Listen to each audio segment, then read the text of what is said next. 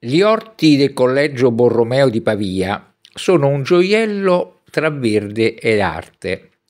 Gli orti di Borromeo, gli immensi spazi tra l'Almo Collegio e il fiume.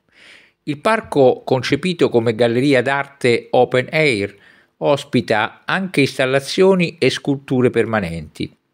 Gli orti del Collegio Borromeo nascono alla fine del 1500 come frutteto e ortaglie coltivate e poi utilizzate nelle cucine dell'antico collegio fondato nel 1561 per la preparazione dei pasti del refettorio degli studenti.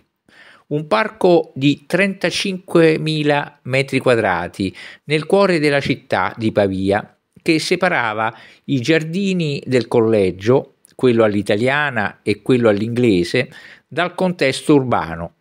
Qui si intrecciano habitat naturali e arte contemporanea.